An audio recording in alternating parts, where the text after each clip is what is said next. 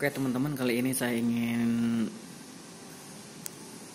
mencoba cara burning pakai power ISO.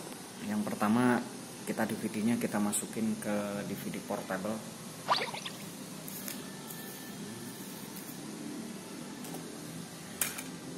Kita masukin dulu. Tutup. Ya, tutup kemudian sampai muncul di komputer ada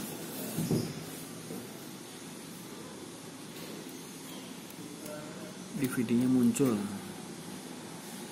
Ini ada ah ini tanda-tanda udah ada DVD-nya oke baru kita cari hmm, data yang mau kita burning Nah, pertama Anda harus install ini ya, Power ISO dulu. Ini bisa Anda download di di Forshare banyak sekali. Ini www Forshare. Eh, sorry. Nah, ini tinggal cari aja Power ISO. Ini cara mudah paling mudah ya. Nah, ini kan banyak sekali ya. Tinggal download aja kemudian install. Tuh kan ada banyak tinggal download install. Kemudian udah jadi seperti ini ya. Oke kita coba caranya pertama klik dua kali power ISO nah udah. Kemudian tadi saya udah nge-download Ubuntu 18 kita lihat tadi di download open. Kemudian di download ya. Sini user sini. Nah ini. Ini yang mau kita burning.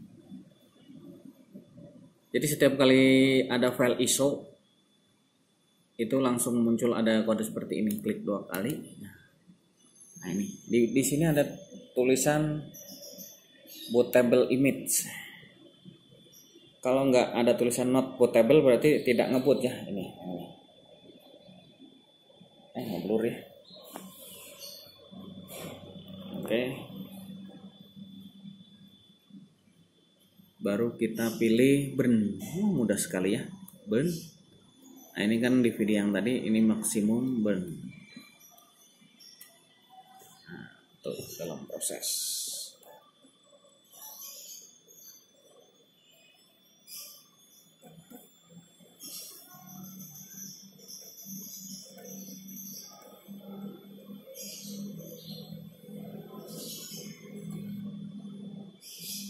starting.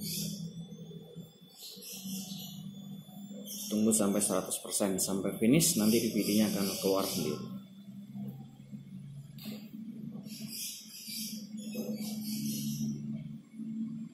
Ini 1,9 giga ya karena DVD kan 4,5 giga.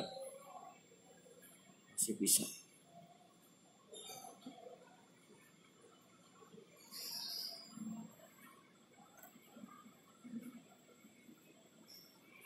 Oke, sekian tutorial dari saya tuh satu persen sampai finish. Nanti akan beres sendiri. Saya ucapkan terima kasih.